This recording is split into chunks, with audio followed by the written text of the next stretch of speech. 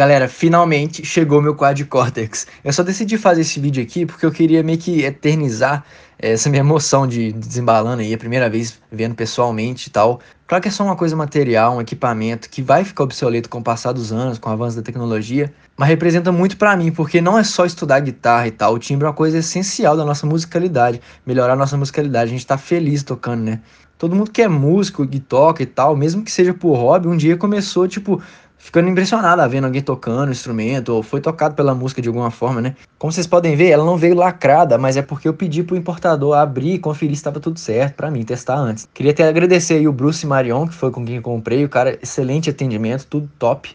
Chegou num prazo super rápido e foi super seguro. Tava tendo o maior cuidado aí, né?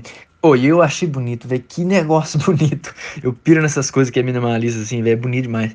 Uma coisa até que eu queria falar: a gente tem que procurar conselhos, pesquisar muito, ver outras coisas, mas seguir o nosso próprio caminho. Tem de tudo atualmente. Com a tecnologia, dá para tirar som de qualquer coisa.